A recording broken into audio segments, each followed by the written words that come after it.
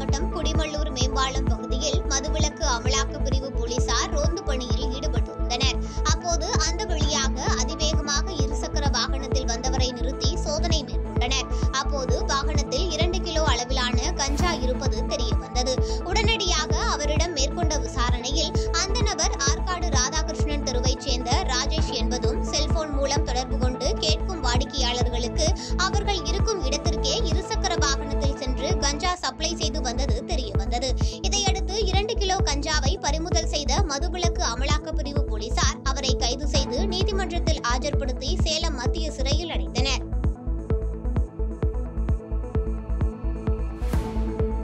பாதகம் செய்பவரை கண்டால் நாம் பயங்கொள்ளலாகாது பாப்பா. மோதி மிதித்து விடு பாப்பா. அவர் முகத்தில் உமிழ்ந்து விடு பாப்பா. அண்மை செய்திகளை உடனுக்குடன் தெரிந்து கொள்ள இணைந்திருங்கள் இயம்நாடு தொலைக்காட்சியுடன்.